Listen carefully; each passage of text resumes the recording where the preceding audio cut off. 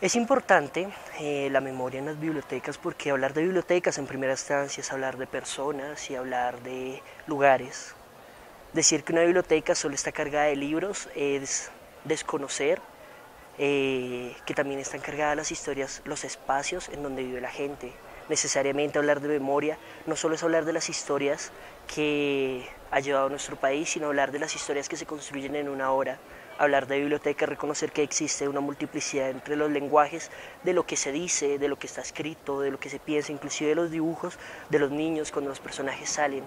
Hablar de la memoria necesariamente es reconocer que detrás de cada nombre puede existir una posibilidad y detrás de cada posibilidad existe una necesidad por parte de las bibliotecas, de la promoción de lectura, de llevar estas historias a otros espacios, no como cuestión de morbo, no como cuestión, no como una necesidad